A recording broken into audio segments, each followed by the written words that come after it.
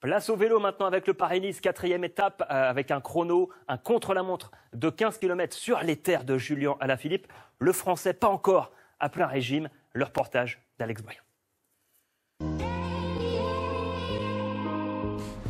Malgré le coronavirus, pas question de rater le retour de l'enfant du pays. Quand il sort du bus, Julien Alaphilippe est fêté en héros.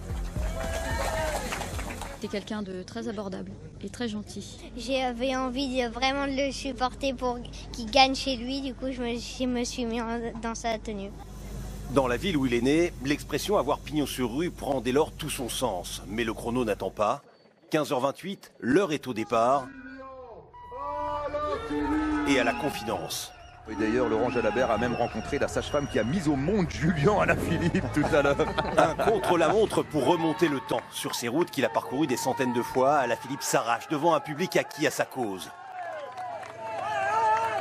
Placé à mi-parcours, il finit 18e, mais premier français, à 36 secondes du vainqueur.